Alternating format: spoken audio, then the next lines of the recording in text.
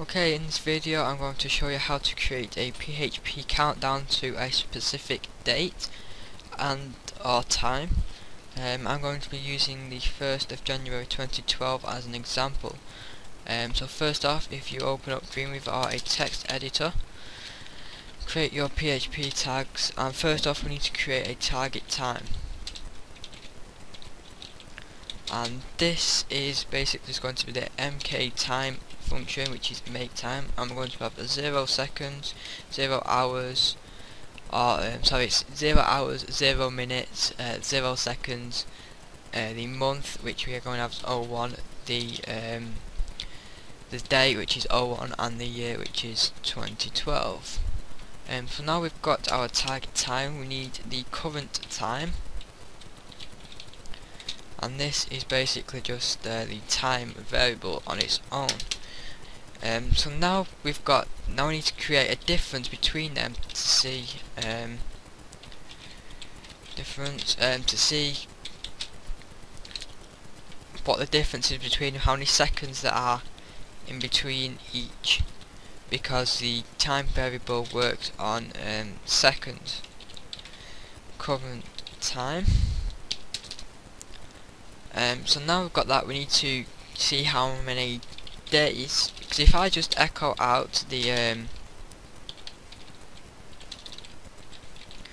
the difference here refresh this page you can see how we've got like 15 million seconds until 2012 um, and we don't want we don't just want that to happen we want to know the days the hours uh, the minutes etc um, so what we can do for that is create a variable called days and this is equal to the um, difference um, divided by how many um, seconds there are in a day. So to find out how many seconds there are in a day we can just open up, go up to Google and put um, one day to seconds and we get here is 86,400 so we can copy that into Dreamweaver here take away the space.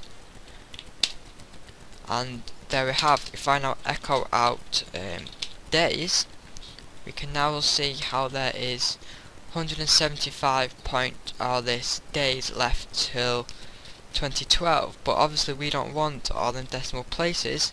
So what we can do is around um, this difference here we can type floor and put that in brackets and what floor does is basically just takes away any decimal points. So there we have it's 175 days um, till 2012. Um, and to validate this, um, actually I'll do that later on.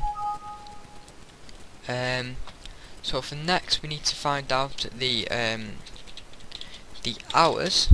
So to do this, also use the floor uh, function, and we can say the, it's the difference divided by how many um one second sorry. Sorry about that. Um we need to find out how many uh, seconds there are in an hour. So to do this we can just go to one one hour and we can see how we get 3600 so just put that in there. And the same for um, minutes uh, the floor and difference divided by how many um, seconds are in a minute so that's easy it's 60 uh, we can do that straight up. And basically um, last is the seconds. Now basically um, you can put this in a floor but it doesn't really matter because you don't really because the original difference is how many seconds it is anyway, but um, we can put it in a sect variable, a seconds variable to um, keep things like user friendly and know what we're doing with the code, instead of putting all these days, hours, minutes, and then saying difference for seconds. Um, so basically now what we can do is echo out to the user all this information so we can put something like um, countdown to first of um, January 2012 and then we can also put in here if we would like UK time. Um, and then basically we can just echo out this um, to the user again put on different lines so we know what we're working with. Um, hours then hours um, we can break that off there. Um, mins minutes break that off. Um, and seconds.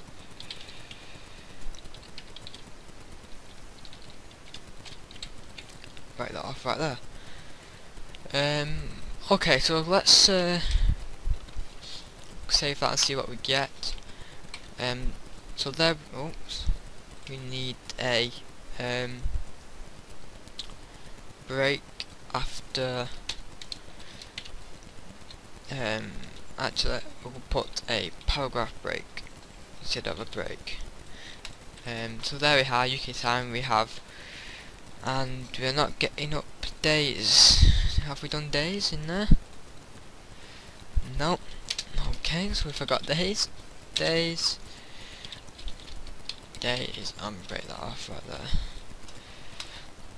There we go 175 days 4000 you get the picture and all that down to 2012 um, now we can just make this a bit more um, user friendly so we can just say put a um, inside the speech mark we can just put a header on this I'm just going to put a h2 um, and inside that one um, h2 and around here we can put um, let's say h3 and around the end put it on the bottom there. H3 um, also needs to be forward slash on the ends. Save that out and we get something a little bit more like that. Okay so now to um, validate this to make sure it's actually true um, if you go to Google and type in here um, something like countdown to 1st of Jan 2012 um, count first count New Year 2012 in London. Um, as you can see we get 175 days which is what we have there 175 days um, 4214 hours 4214 um, the minutes 25,2844 252844 and the seconds is going down on this one. But we would have to refresh the page to get the seconds to go down. So um, there you go. That's um, a simple countdown script. Um, so thanks for watching and I'll see you next time